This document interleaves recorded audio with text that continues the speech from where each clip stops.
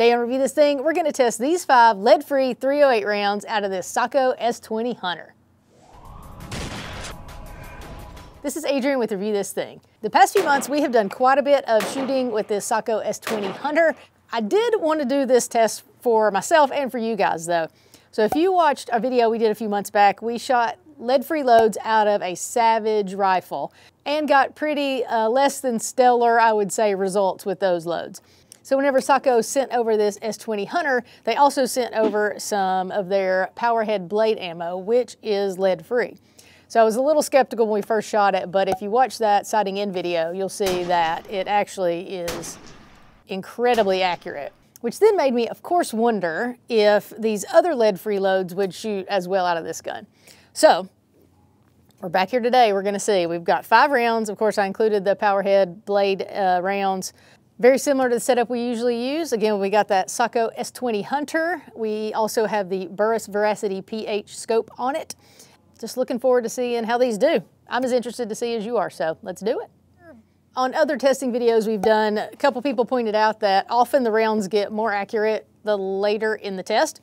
So we're gonna start with these Sako power blades because they've done really well. So hopefully they're gonna be very accurate and then we'll just go from there. Let's go ahead, we're gonna go top right. Ignore the little sticker. That was a shot from earlier, different test.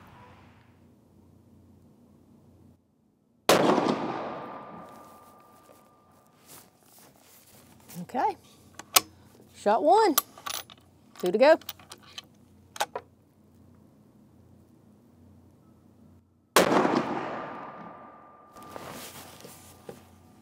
Shot two. We're touching.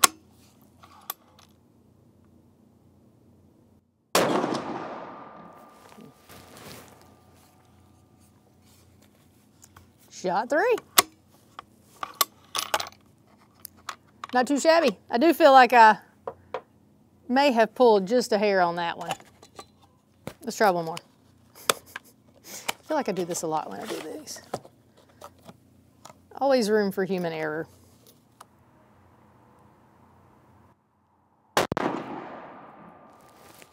There we go. That's a lot more like it. So as I said, these Sako Powerhead Blade lead-free rounds are super accurate out of this Sako S20 Hunter. Now, give it a couple of seconds, let everything cool off, and then we'll see how these other rounds do. Up next, we're gonna shoot the Barnes Vor-Tx 168 grain TTSX BT bullet. Previously, we've shot the 150 grain and there's 130 grain. Those Sako power heads are 162 grain. So I thought I would try to stay as comparable as I can. So we're going with these 168 grain. We're gonna shoot top left and let's see what kind of groups we can get out of this one.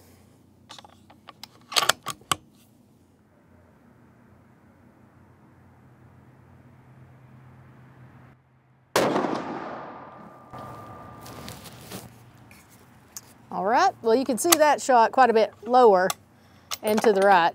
This gun is sighted in for those Sakos, so I don't really care where this hits. I just want to see how closely the three hit each other.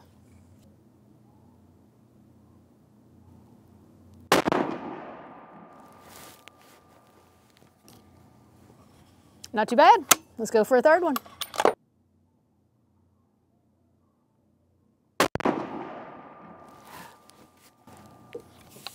I definitely feel like that was me.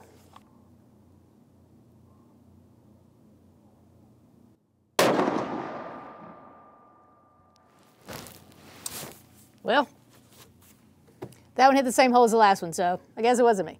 So there you have the group with the Barnes 168 grain TT SX BT.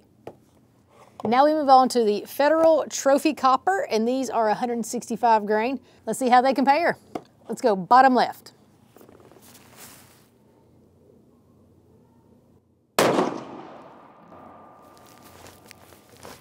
Alrighty, so those are a little higher and to the right compared to those Sakos. Round two.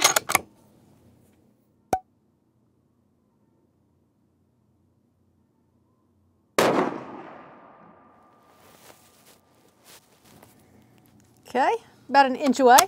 If we can put one in between there, it might be a pretty good group.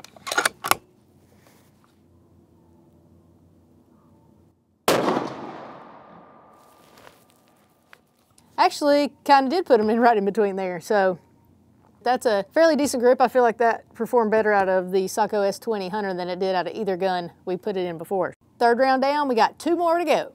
Okay, up next we are gonna shoot the Norma EvoStrike. These are 139 grains, so these are gonna be a little bit lighter than the other rounds we were shooting. Lots of comments I got on the last copper video said that you need to shoot lighter rounds than uh, the gun typically likes in a lead bullet. So we're gonna try these 139 grain and see where they land. We're gonna go bottom right.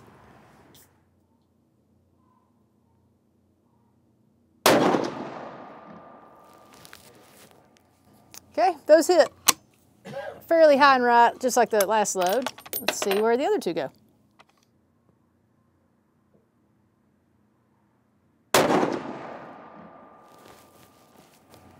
Well, that one's also quite high and right, but very close to the other one. Whoop, there it goes. One more.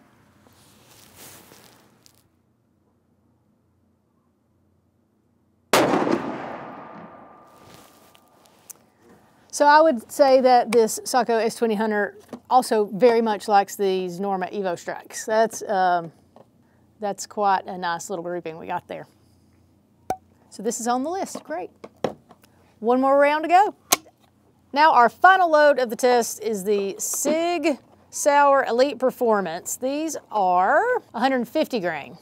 I will tell you that I'm very interested to see how these do out of this rifle because they did pretty terribly out of the other ones. So only way to know is to shoot them.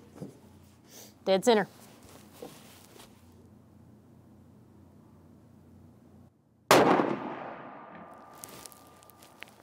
So that one was just a little high and right, pretty much the same spot, looks like, as that last round. So if we can get two more in that same spot, then we'll be impressed with these now too.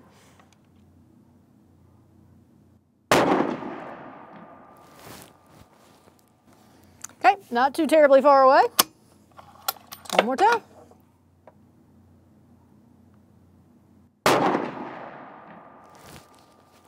That actually wasn't a horrible group either. So one thing it seems that is the case with the Sako S20 Hunter is, for one thing, this is a, you know, a very nice rifle. I would also assume since the rounds they sent are lead-free, that uh, this rifle is kind of primed to shoot lead-free bullets and uh, it certainly looks that way. It looks like other than that uh, 168 grain Barnes, which maybe it just needs a lighter weight. You know, like I said, Barnes makes a 150 and a 130, so one of those may do really well out of it, but there are definitely at least a, a couple loads out of that test that we would not hesitate to take Results. hunting. Lots of videos on this Sako and then some additional videos on this Burris um, scope. Check them out.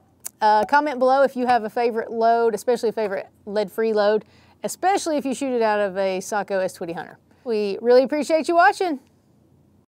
Hey, thanks for watching our Sako Best Non-Lead Load Test video. While you're here, watch a bunch of other videos, give them a thumbs up, share them with your friends, comment, tell us what you think. Also, go to our website, reviewthisthingtv.com, sign up for our newsletter, follow us on Instagram, Facebook, TikTok, Go Wild, Threads, and check out our Holler store and our Amazon storefront.